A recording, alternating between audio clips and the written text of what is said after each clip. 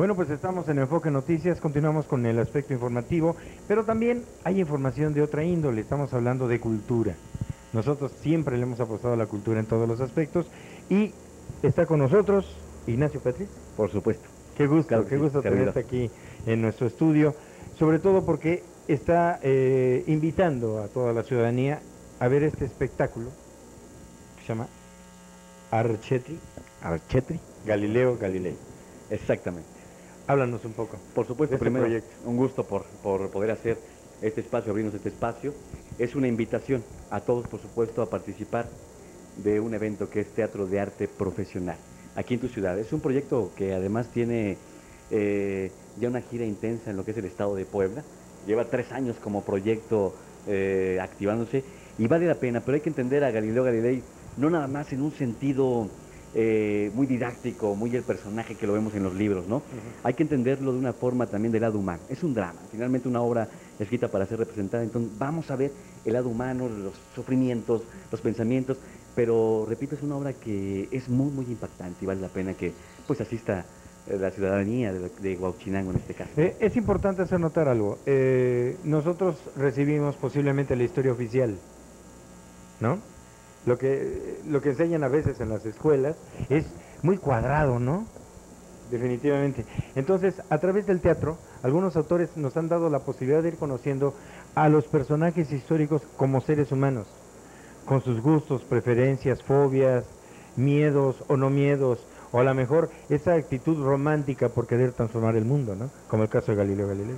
Totalmente. De hecho, cuando hablamos de ese, de ese drama, tenemos la oportunidad tal vez hasta de asociarnos con estos personajes. Eso es el teatro espectáculo de hace 24 siglos que surge como idea en, el sentido de teatro y es buscarnos, encontrarnos.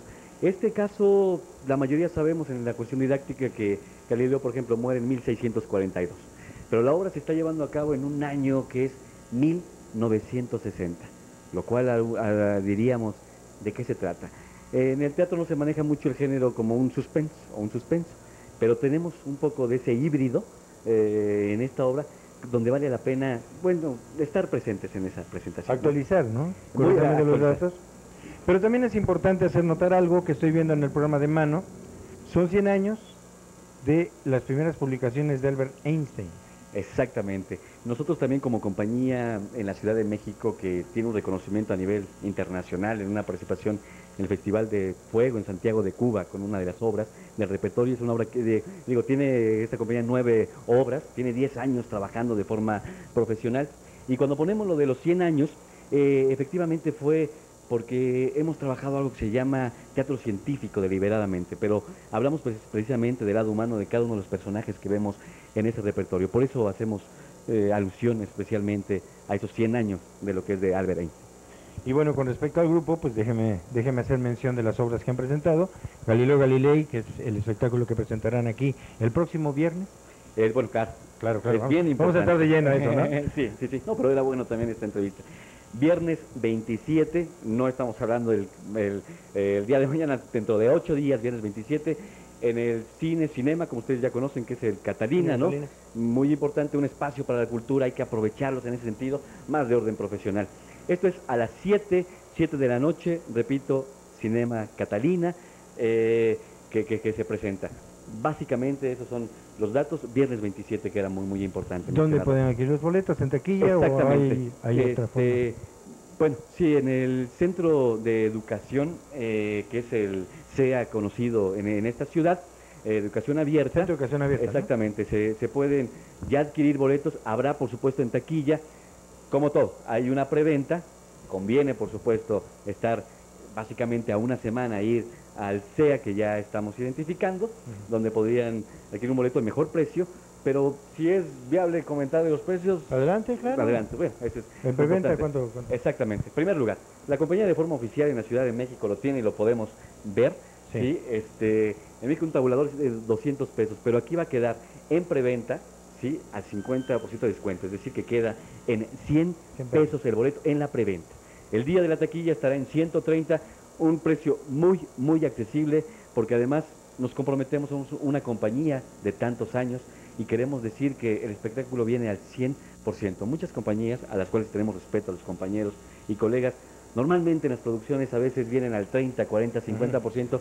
Consideramos que O no es lo adaptan, mejor. ¿no? O se adaptan al lugarcito. Pero creo que es como que detalles que no se vale porque el público merece todo, todo un respeto y estamos para cumplir. Al final, algo muy importante, siempre celebramos o hacemos un debate con el público, enfrentarnos con respecto a lo que es el contenido, el contexto de la obra y aparte, por supuesto, de los personajes, los actores y lo que tiene que ver esta obra. Sí, no, bueno, y pues también, también medir, medir el, el este, la manera de que ha llegado, ¿no? El mensaje cifrado que ha querido el autor en el, en el público, ¿no? Esa es la idea. Pues yo te agradezco muchísimo, por supuesto a las personas que te acompañan.